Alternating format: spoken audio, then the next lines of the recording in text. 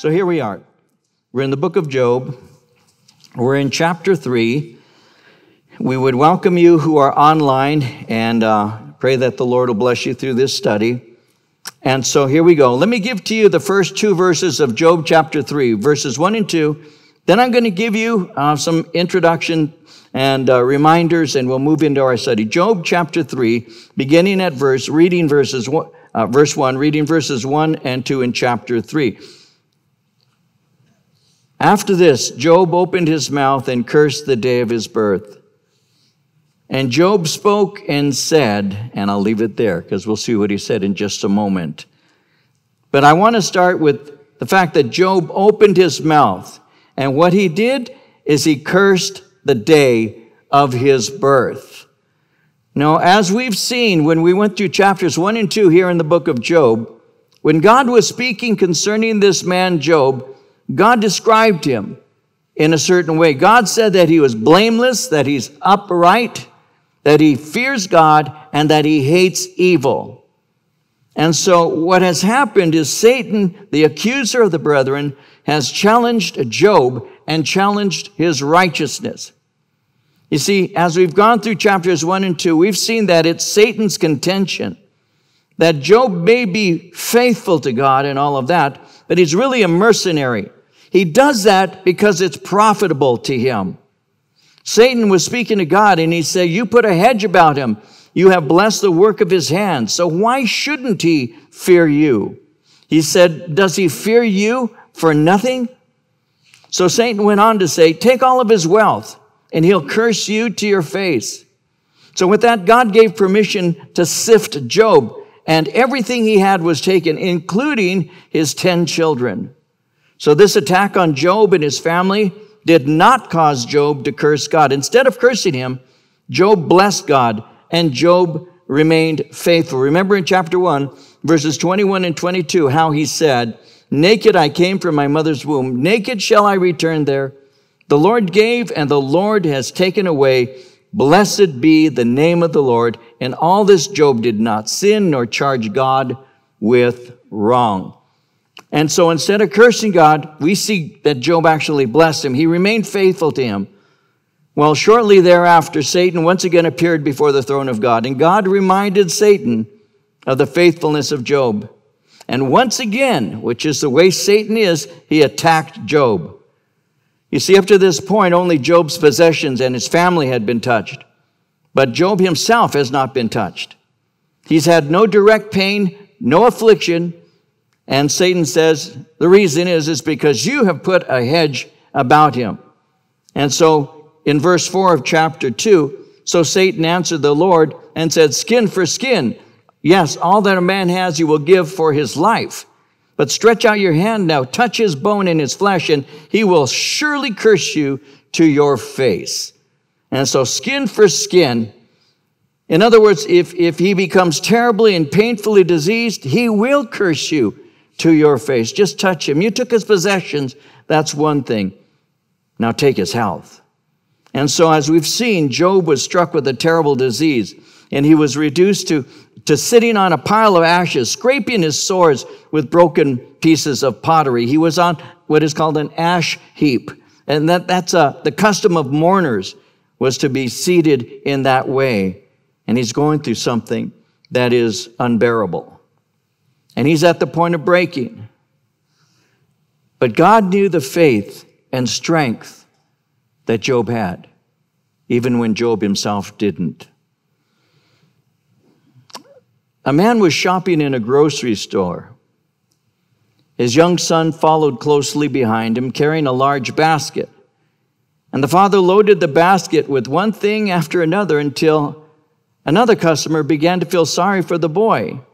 And she said, That's a pretty heavy load for a young fellow like you, isn't it? Well, the boy turned to the woman and he said, Oh, don't worry. My dad knows how much I can carry, and God knows how much you can carry too. God knew how much Job could carry. And even though Job was being loaded down, God knew his strength and God knew where his faith really was. Well, as this is taking place, Job's wife was filled with grief And remember, in despair, she unwittingly became the voice of the enemy. And her counsel to Job was for him to simply give up the fight. She told him to resign himself to dying. In Job chapter 2, verse 9, she said, Do you still hold fast to your integrity? Curse God and die. And we saw his reprimand. It was gentle. He, he basically was saying, Baby, your counsel to me is really beneath you. He said in chapter 2, verse 10, Should we only accept what we think is good from God and not adversity? And Job knew that even what seemed evil, if allowed by God, was a blessing in disguise. And through all of this, he did not sin with his lips. He wasn't rash in his accusations. He didn't blame God for his pain. And so last time we were together, when we were closing chapter 2, Job's friends arrived and they had come to mourn with him, they had come to comfort him. He was so disfigured that they didn't even recognize him when they were a short distance away. And when they came upon him, we read how they just they sat with him quietly in stunned silence and they did that for a week and as we'll, we'll see job's situation was going to be a lesson that they also needed to learn. Because as we're going to go into chapters three and four, the debate is going to begin. And they're about to open a debate with a man. For a week they were quiet, but now they're going to go on the offense with him because they feel that he has sinned and done something to bring this on themselves. And so not only Job is going to learn things from this, but his friends are going to learn too. Somebody said, many of the trials Christians endure are an education in the art of sympathy. And as I closed last time with you, I was sharing with you that sometimes the best comfort you guys can give to somebody who's hurting, sometimes the best comfort you can give is just to be with them, to cry with them, and to allow them to go through what they're going through instead of having answers for all of their problems and, and answering questions for them that they didn't ask you. And so Job has been suffering, and he's been doing so for some time. You see, when we get to chapter 7, verse 3, it's going to point out that Job will say, I've been allotted months of futility. Wearisome nights have been appointed to me. So this isn't something that took place for just a week. This has taken place for some time. And so Job has sat in silence with his friends for a week, and after a week, Job is the first to speak. Verse 1, chapter 3. After this, Job opened his mouth and cursed the day of his birth. When it says Job opened his mouth, that's not simply spontaneous speaking. It is actually the result of deep thought. Job, in other words, has been holding his feelings in. But now you're having an opportunity to see what he's been thinking about. You're, you're going to have an opportunity to see what has been formed in his heart. The psalmist in Psalm 39 said in verses 2 and 3 I was mute with silence, I held my peace, even from good, and my sorrow was stirred. My heart was hot within me. While I was musing, the fire burned. Then spake I with my tongue. So Job is one of these guys who has been silently stewing he hasn't said anything, but now he begins to speak. And what does he say? Verse 3, well, verse 2 Job spoke and said, May the, may the day perish on which I was born, and the night in which it was said, A male child is conceived. May that day be darkness. May God above not seek it, nor the light shine upon it. May darkness and the shadow of death claim it. May a cloud settle on it. May the blackness of the day terrify it. As for the night, may darkness seize it. May it not rejoice among the days of the year. May it not come into the number of the months. Oh, may that night be barren. May no joyful shout come into it. May those curse it who curse the day, those who are ready to arouse Leviathan. May the stars of its morning be dark. May it look for light but have none, and not see the dawning of the day, because it did not shut up the doors of my mother's womb. nor hide sorrow from my eyes. Sounds like he's bummed out, doesn't it? Notice how he begins. He begins by cursing the day of his birth. That's what he's doing. He's speaking concerning his birthday, the day of his birth. Now, there are other instances in scripture when people say sim- similar things. For example, in Jeremiah chapter 20, verses 14 through 18, it says, Cursed be the day I was born. May the day my mother bore me not be blessed. Cursed be the man who brought my father the news, who made him very glad, saying, A child is born to you, a son. May that man be like the towns the Lord overthrew without pity. May he hear wailing in the morning, a battle cry at noon.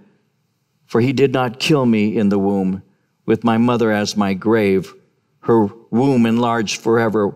Why did I ever come out of the womb to see trouble and sorrow and to the end of my days in shame? So his words reveal something. They reveal deep despair. He wishes, as he just said, he wishes he'd never been born. His physical pain has produced in him mental pain. His mind is also being assaulted. Satan's plan was for Job to be so filled with despair that he ends up cursing God. And Job begins what would be called a, a song of sorrow, a lamentation. It's a time that he's going to be expressing his mourning, the sorrow of his heart. He wishes he had never existed, or at least that he would have died upon birth. And so he begins to speak about that, and you just saw that. He said, May that day not even be remembered. Now, notice verse 8. I'll, I'll say something quickly about this. Verse 8 is interesting because it makes mention of something called Leviathan. Leviathan. Now, the word Leviathan, I'm going to show you a few things, and you're going to want to remember this because we'll go through this and see this more than once. But Leviathan is a word that is used in different ways. That word Leviathan it can also be used, and in this context, uh, my commentators that I that I uh, I use uh, seem to indicate that this is the context here. In in, in this uh, verse here, in verse eight, Leviathan would be used as a word that is used for those who mourn. Uh, in this context, Job would be speaking of people who are what we would call professional mourners. And, and in the nation of Israel, I don't know if they still do to this day, but in the nation of Israel, in the time of Christ and, and, and in various uh, periods, they actually had professional mourners. They would hire them and they would come and they would make a great, uh, a great uh, lamentation over the death of some important person. And the more important that person was, uh, the more mourners they would have. You see an indication of this on, on one occasion in the ministry of Christ where, where Jesus walked in and, and this little girl had, had died and, and there were people there mourning and making lamentation and Jesus said, uh, She's not dead, she's just sleeping. You remember that portion of scripture. And it says that those who were crying laughed him to scorn. And when you're reading your, your scriptures, that helps you to understand these were professional mourners.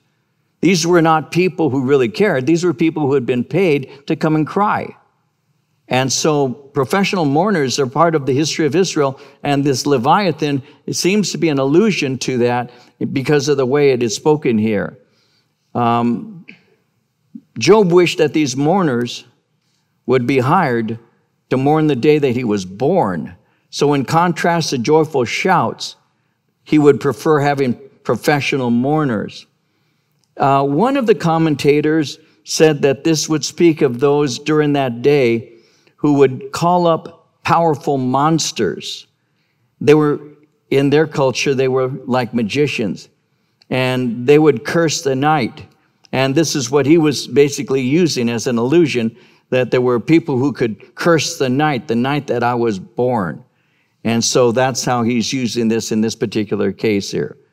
Now, just to give you a little more information, you'll see this later. In other places, Leviathan is used to speak of a monster. Uh, some say it's a crocodile, others say it may be a sea monster. It's called a dragon, it's called the serpent. It's also, as mentioned, a crocodile. You'll see it in Job 41, verse 1, where it says, Can you pull in Leviathan with a fish hook or t- tie down his tongue with a rope? The psalmist in Psalm 74, verse 14 says, It was you who crushed the heads of Leviathan, gave him as food to the creatures of the desert. Or Psalm 104, 26. There the ships go to and fro, and the Leviathan, which you formed to frolic there. And then Isaiah 27, 1. In that day the Lord will punish with his sword, his fierce, great, and powerful sword, Leviathan, the gliding serpent, Leviathan, the coiling serpent. He will slay the monster of the sea. In this particular context, it speaks concerning professional mourners and how that he would prefer that they would mourn the day of his birth rather than rejoice. And so he says in verse 10, it didn't shut up the doors of my mother's womb nor hide sorrow from my eyes. Verse 11, why did I not die at birth? Why did I not perish when I came from the womb? Why did the knees receive me? Or why the breasts that I should nurse? For now I would have lain still and been quiet. I would have been asleep. Then I would have been at rest with kings and counselors of the earth who built ruins for themselves, or with princes who had gold, who filled their houses with silver. Or why was I not hidden like a stillborn child, like infants who never saw light? There the wicked cease from troubling, and there the weary are at rest. There the prisoners rest together. They do not hear the voice of the oppressor. The small and great are there, and the mass and the servant is free from his master. Uh, why, why did why didn't I perish? Notice he says, Why didn't I die at birth? Why didn't I not perish when I came out of the womb? I, I, I wish I would have died instantly. When it says, Why did the knees receive me? He's basically saying, Why didn't the midwife just let me fall to the ground when I was born and let me die? Or why didn't they let me just starve to death instead of nursing me and, and keeping me alive? You see, if my mother would have allowed me to die, this pain would not be upon me now in verse 16, he says, Why was I not hidden as a stillborn child? That's interesting because one commentator said, This is speaking of a way. You might find this interesting. This is speaking of being aborted. When the term removed from sight is used, it's another way of saying, Why was I not aborted in my mother's womb?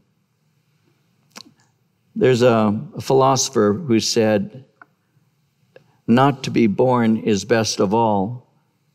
Once born, next best, it is by far to go back there from whence one came as speedily as possible. It, it's good not to be born, but it's also good to die quickly, is what he was saying.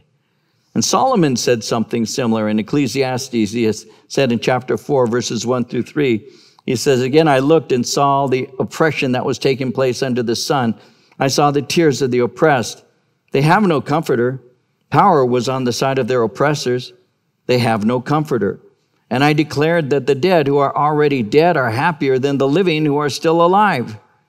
But better than both is he who has not yet been born, who has not yet seen the evil that is done under the sun. Job is saying, Man, I wish I would never been born, but had I been born, I wish I'd have died. I wish I'd have been aborted. I wish that the nurse would have dropped me on the floor and killed me. I wish my mother wouldn't have fed me. I, I, I wish this had happened. All of this would be better than what I'm going through now. If I were dead, I'd be at rest, but I'm not dead and I'm going through nothing but pain. And he's pouring out his lamentation in front of his friends. Then he says in verse 20, why is light given to him who's in misery? And life to the bitter of soul, who long for death, but it doesn't come. Search for it more than hidden treasures, who rejoice exceedingly and are glad when they can find the grave. Why is light given to a man whose way is hidden and whom God has hedged in? For my sighing comes before I eat, and my groanings pour out like water. Why? Why is the light of life given to people who live a life that's filled with pain and sorrow? In verse 20, 22, he says, whose only relief and joy comes when they die. Why is light given to a man whose way is hidden, whom God has hedged in, he says? Why is a man brought into the world who doesn't see God protecting him? So at this point, Job is feeling that he's been hedged in. He's unable to flee to safety and joy. He feels like he's just boxed in and there's no relief whatsoever. I feel hedged in, then nothing's going to help me. I'm groaning. I'm crying. I'm in such pain. And, he, and he's trying to make that very clear to his friends. In verse 25, he says, and notice this verse, the thing I greatly feared has come upon me, and what I dreaded has happened to me. I am not at ease, nor am I quiet. I have no rest, for trouble comes. The kind of suffering I'm enduring is my worst nightmare. I've had the worst kind of pain, and I can't even imagine anything worse than this. Now, here's the thing I want you to think about with me for a moment. In verse 25, he says, The thing I greatly feared has come upon me. Think for a moment, and uh, I'll, I'll show you something I find interesting. Think for a moment, what to you might be the thing that you really have as a secret? I hope this never happens to me. I'm not asking you to shout it out or anything, but everybody has a secret thing, something within you that you say, I hope this never happens to me. Well, Job makes it very clear. He says, The thing I greatly feared has come upon me. The thing that I was most concerned about has come upon me. What is that thing? We know that when you look at chapter 1, verse 5, we know that Job offered sacrifices for his children in case they sinned and cursed God in their hearts. We know that in Job 9:28, he said, "I'm afraid of all my sufferings. I know that you will not hold me innocent." And we see in Job 31:23, I dreaded destruction from God, and for fear of his splendor, I could not do such things. I'm afraid of all my sufferings. I dreaded destruction from God. This is the thing I feared the most, and it has come upon me. I have no relief. There's nothing I can do. I cannot be brought to comfort. In all of my pain, I forgot. I have forgotten everything except for one thing I'm in pain. And so he's saying to never have been born would have been a blessing. But here's something for you to think about before we move into the next chapter. To be never born would have been a blessing, but he's forgetting something. He's forgetting that his birth and his life have brought joy to many others. The fact is, by wishing he'd never been born, he's actually being selfish. One of the things to remember, guys, and there are those who go through this, and I don't know how to say this because I'm trying to say it from my heart to yours. And I, I haven't thought of a way to say this to you, so here it goes. Let's see what I can do.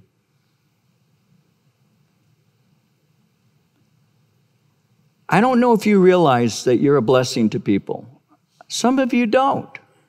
Some of you don't realize what your life means to somebody else. Some of you don't realize that you're important. And I'm not trying to build you up in a weird way, but it's just true. That you think that your life didn't account for anything, that you did nothing that really mattered, that you've lived X amount of years and not achieved anything, not achieved any of the things you wanted to achieve. And you might even be thinking you've had a wasted life, but that's not true because every one of us in this room who loves the Lord and has been serving Him has had an impact on other people.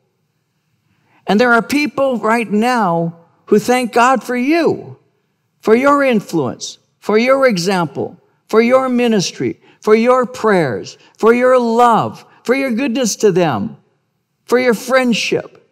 I don't know if you realize this. You're not alone. Sometimes when we're sick and sometimes when things are going not in the way we'd like them to, we begin to think, my life has been a waste. Nobody cares. Nobody cares about me. If I weren't on this, if I weren't on the face of the earth, nobody even missed me. Nobody would come to my funeral. Nobody would say good things at it. I don't matter. That's not true. That's not true. Job was saying, I wish I had never been born. But there are so many people that Job influenced and affected. There were so many people that he blessed. He was a righteous man. People looked at him in that way. He was a generous man. He cared for others. He was well known for his goodness. And yet here he is saying, I wish I'd never been born. But that's a very selfish thing. Why? Because he was a blessing to so many people. Don't let the enemy get in your head and tell you you don't matter because you do. Because you do matter. Because your love for other people and your kindness to other people, your prayers for other people, your presence with other people, all of that matters. But when we're going through something that's very difficult, when we're going through pain, when we're going through sorrow, when we're going through suffering, you know, our mind is taken off of others and it's put only on us. And, and that's what's happening here with, with Job. He's, he's so hurt. He's so broken. There he is on this ash heap. There he is with a, a broken piece of pottery and he's scraping the pustules out of his skin. He's in such pain. And, and you'll see what's taking place in a little while as we go through this book together. But he's going through misery and, and he's saying, I just wish I would have died. I can't take this anymore. I'm not at ease, nor am I quiet. I have no rest. Trouble comes.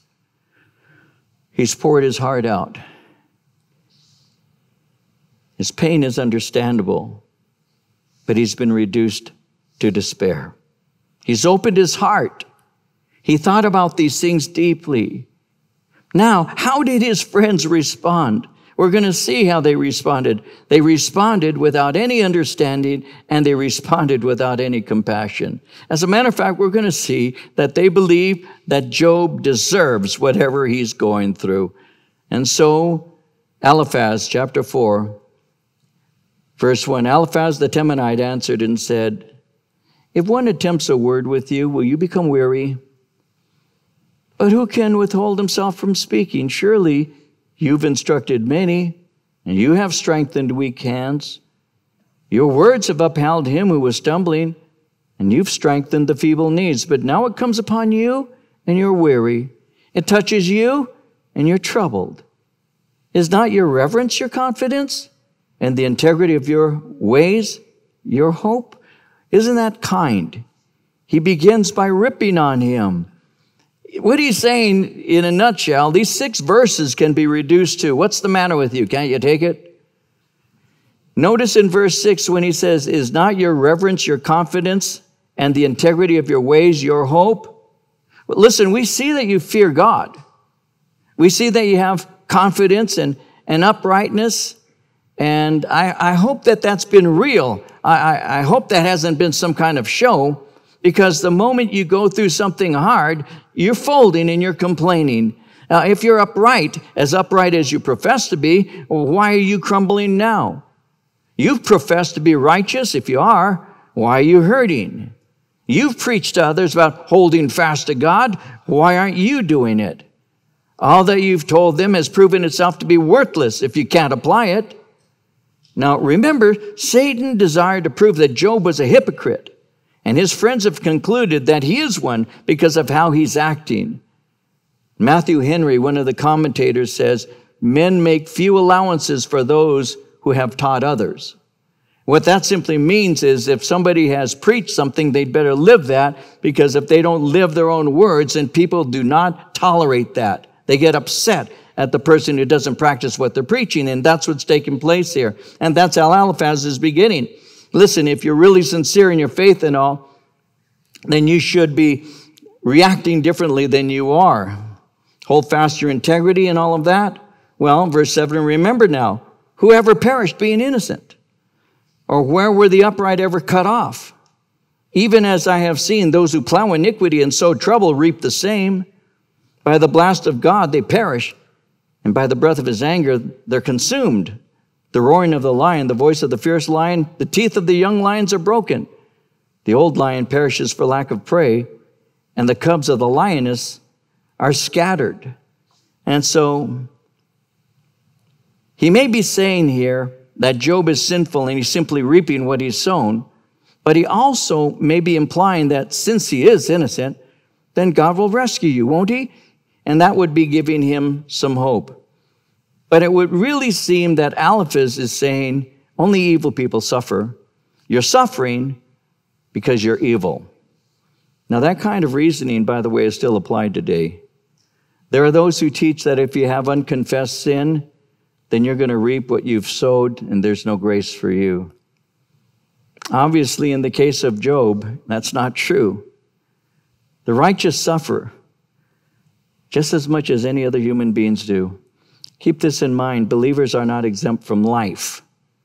The difference is that our lives are built on firmer foundations. We experience suffering, but we endure because our strength is given to us by the Lord Jesus Christ. Remember how that the Lord Jesus Christ was speaking of a wise man who built his life on a rock? And then he contrasted that with the fool who built his on sinking sand. And Jesus spoke and he said that the rain descended and the floods came and that the wind blew on both of the houses. And he said one fell, but the other remained. And he said the other remained because it was founded on the rock. And so the house that falls falls because it was, it was built on sand. In Matthew 7 26, he said, Everyone who hears these sayings of mine and does not do them will be like a foolish man who built his house on the sand. Well, Job had built his life on the foundation of faith in God, but Eliphaz is rebuking him and calling him a hypocrite. When he speaks in verses 9 to 11 and speaks of the blast of God, by the blast of God they perish, by the breath of his anger they're consumed, he's saying that God has done this because he's angry at Job. God is all powerful, he's saying to him. And when he's displeased, even powerful lions are helpless before him. And now he gets very spiritual. Verse 12. Now a word was secretly brought to me. My ear received a whisper of it in disquieting thoughts from the visions of the night when deep sleep falls on men. Fear came upon me and trembling, which made all my bones shake. Then a spirit passed before my face, the hair on my body stood up. It stood still. But I could not discern its appearance. A form was before my eyes. There was silence. Then I heard a voice saying, Can a mortal be more righteous than God? Can a man be more pure than his Maker? If he puts no trust in his servants, if he charges his angels with error, how much more those who dwell in houses of clay, whose foundation is in the dust, who are crushed before a moth. So what he does is he gets very spiritual. He appeals to what he would call a mystical experience, a revelation. And he's saying something like, I have a word from the Lord for you. God has revealed to me something in a vision. And uh, what he's revealed to me, Job, is you're in sin. He says in verse 12, a word was secretly brought to me and my ear received a whisper of it. This is something that that, that was privately and secretly revealed to me. I received just a whisper of it because God knows so much. He's so filled with all knowledge. He just gave a little to me. And so he said in verse 13, he had disquieting thoughts from the visions. Now, these thoughts troubled me. When I slept, I had night terrors. Fear came upon me completely terrified me. And so he's speaking concerning a fear he's experiencing. And then in verse 15, a spirit passed before my face and the hair of my body stood still. This experience should awaken people who casually speak of spiritual experiences. If this literally happened, then the fear he's experiencing at this revelation should teach us that you don't take these things casually. Because he says in verse 16, it stood still, but I couldn't discern its appearance. There's a form before my eyes. I was quiet. I was waiting to see what was going to happen.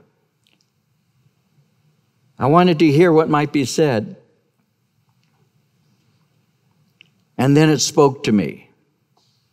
And here's what it says Can a mortal be more righteous than God? Can a man be more pure than his Maker? Can a weak and frail man be more righteous and just than God? Job, are you accusing God of being unjust and allowing these things to come upon you? You need to remember you're fallen. You are subject to disease and trouble. Why are you so upset? You're presumptuously accusing God of being unjust because you're in pain. You're a mortal man. Even though you're great, and even though you have power, even though you're mighty, do you think that you are more righteous than God? In Isaiah 29 16, it says, You turn things upside down, as if the potter were thought to be like the clay. Shall what is formed say to him who formed it, He did not make me? Can the pot say of the potter, He knows nothing?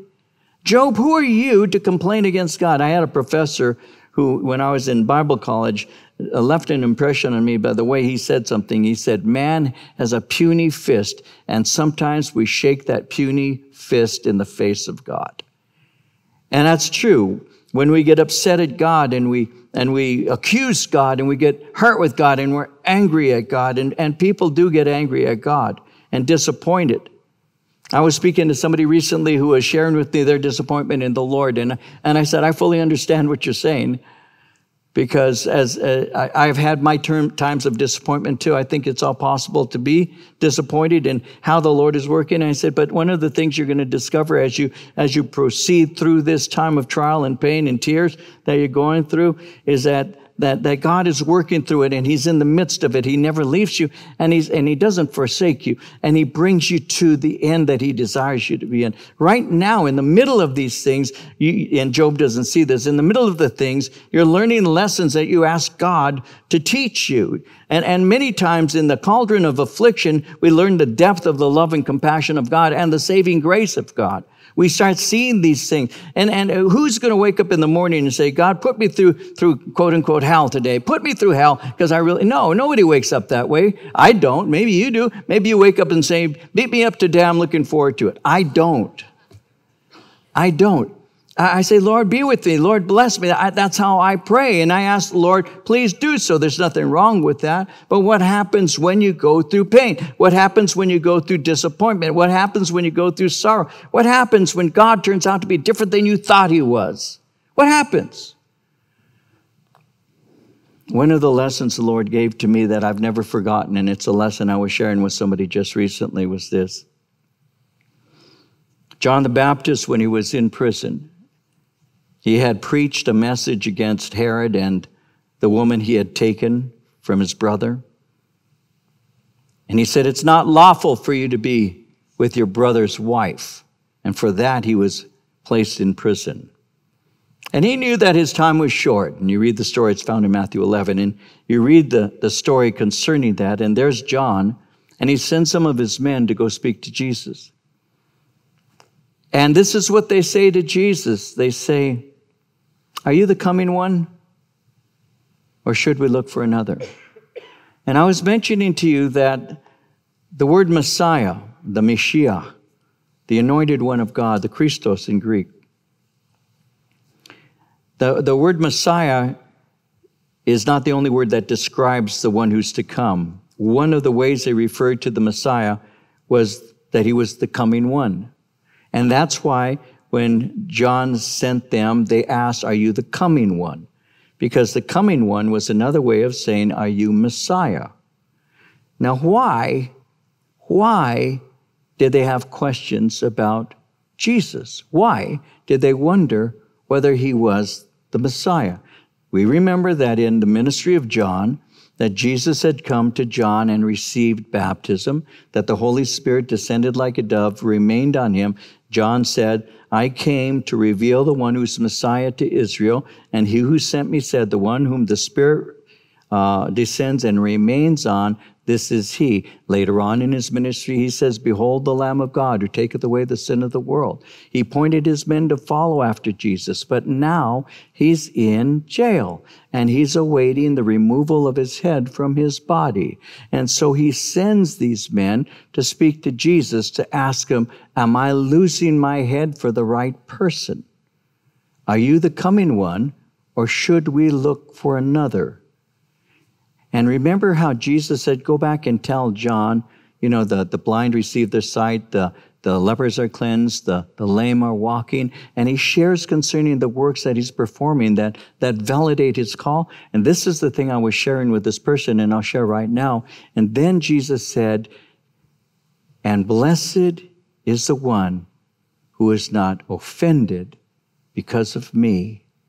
Blessed is the one who has not stumbled because of me. What are you talking about? We have a tendency of creating God in our own image. We have a tendency of saying, My God wouldn't do that. A man like Job could very easily be saying, I've done great things for people. I've been a blessing to the orphans. I've cared for the poor. I've taken care of the widows. I've helped them. I've given them jobs. I've given them work. I've, I've put my life out. Even when my kids, when my kids would have their birthday parties, I would offer God sacrifice in case they may have sinned and cursed God in their heart. And, and, and Job has been a righteous man. And as we saw, when, when God was introducing Job, uh, you know, reminding Satan of one whom he was aware of, he said, He's a righteous man. He hates evil. This is a good man. There's nobody else like him on the face of the earth. That was God's confession concerning Job. But Job is going through pain. And guess what happens, guys? And this is what we're going to see in the book of Job, by the way. That sometimes within us, there may be a very subtle place somewhere in us that simply thinks this shouldn't happen to somebody like me. In my case, it would have been I've tried so hard to be the man you wanted me to be. I've done things, changed, why? Why? And many years ago, when I was, nobody's a Job other than Job, but when I was going through my stretching in my own young Christian life, when I was trying to learn what the ways of the Lord really are, Matthew 11 stood out. Blessed is the man who is not offended because of me. And I remember just meditating on that and looking to see what he meant. I didn't want to misinterpret that.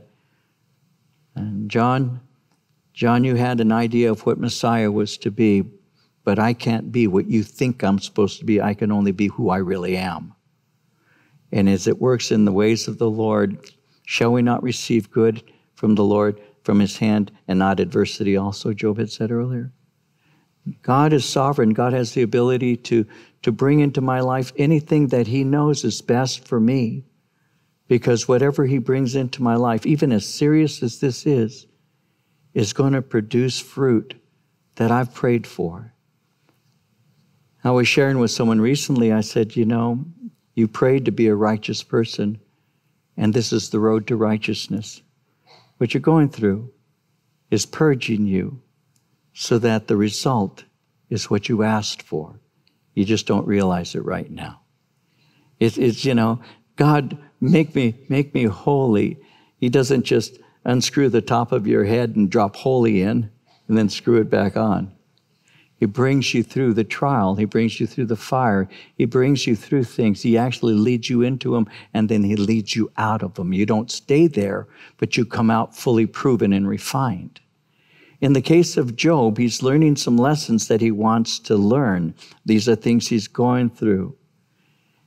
And as this is taking place, he's being reprimanded by Eliphaz. Eliphaz is making presumptuous remarks, by the way, uh, to him. But there are things that Job is learning through these things.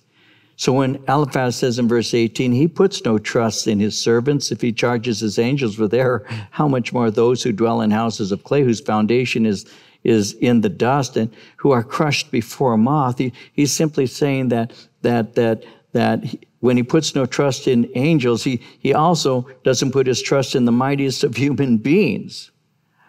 Uh, the angels and, and human beings are not great like he is. They're not powerful like he is. They're not glorious as he is. Uh, uh men are, are, are weak and are prone to sin, is what he's saying. They're imperfect. They're, they're filled with sin and they're frail. That's what he means when he says even a moth destroys them. He's simply speaking concerning how frail human beings are. He says in verse 20, they're broken in pieces from morning till evening. They perish forever with no one regarding. Does not their own excellence go away? They die, even without wisdom. They go through a slow and continual deterioration. The psalmist in Psalm 103, verse 14 said, He himself knows our frame. He is mindful that we are but dust. He says they, they perish forever, no one regarding. It's like what it says in 1 Peter 1.24, all flesh is like grass, all, and all its glory like the flower of grass. The grass withers, the flower falls off. In verse 21, does not their own excellence go away? They die, even without wisdom. Their moral accomplishments, their nobility, their riches, power, their wisdom, it all eventually fades. In the end, they're only human. They simply die, even like fools. Ecclesiastes 2:16 says, "There's no more remembrance of the wise than the fool forever, since all that now is will be forgotten in the days to come." And how does a wise man die? As a fool. They never have perfect wisdom, Job. Neither do you. And if you were truly wise, you would not so boldly question what God is doing. Human beings have a tendency of questioning God. Have you ever questioned God? I have. The funny thing is, is my cell phone has never, never rung with God on the other end of the line saying, listen, I'm kind of troubled. Can you give me advice? But some of us think we can advise the Lord. Some, some of us think we can tell him what to do and how he should do it. You know, Lord, I've got a great plan. If you only were to ask me, I could tell you how to work this thing out. Well, Eliphaz is saying, listen, you're just a human being, Job, and you're going through things and more than likely brought them upon yourself. And here you are blaming God for the things you're going through. And he's saying, you need to remember that you're simply a human being and you're coming against the God of the universe with your complaints. And so he speaks concerning man's excellence. He says they die without wisdom. Uh, the fool and the wise men both simply die. Now, this is kind of a, this isn't the conclusion. He continues into chapter five and, and keeps his cheery kind of counsel going. Uh, next time we're together, we'll be looking at that. But this you can see is the line of reasoning that they're taking. They're basically simply going to be saying, Job, whatever it is you're going through, you've done something evil and that's why it's happening. But we already know that that's not why it's happening. But the end of what he goes through, James tells us, is going to be good. God is going to bring him through it. And if you're going through something right now and you love the Lord and you're wondering why, learn the lesson from Job. Whatever the end's going to be, it's going to be what you prayed God would make it to be. It's going to be that. Your prayer is being answered, just not in the way that you want it to. Sometimes, like I said, sometimes we just want instant when the Lord says it's a process. Sometimes it takes time, but at the end, the fruit of it is exactly what we wanted. And I can tell you, as a man who's been walking with the Lord now for a long time, I can tell you by experience as well as the word that that's true. What you think you're going through right now that will never end, it will end. What you think is going to be forever is not forever, it's for a season.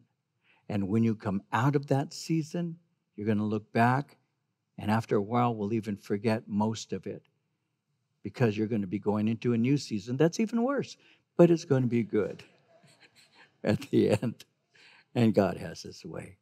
Don't lose hope. Don't lose hope.